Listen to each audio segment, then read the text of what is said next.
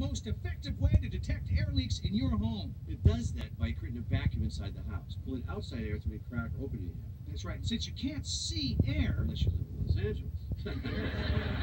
oh, that's not pollution, that's a marine layer. we're going to use this generator to create smoke so we can then see our leaks. Thank you, Tim.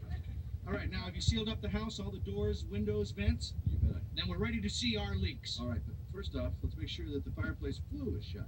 A good way to remember that is to close the flue, pull towards you. Push away, make fire today. My grandfather taught me that. All right, Tim, why don't you go outside and crank up the smoke?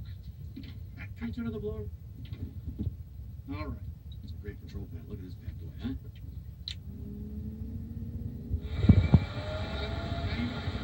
You might not want to tweak it that high. The the faster we find our leak. My grandma told me that one. All right. Now we'll just seal this up. Now wherever we see smoke, I'll just mark that with my adhesive, and we'll caulk and seal the leak.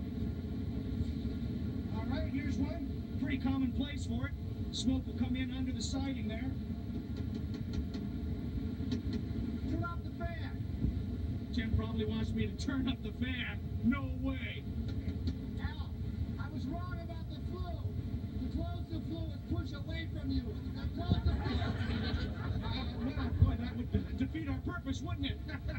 so we'll, uh, we'll just close that up there. Seems to be stuck.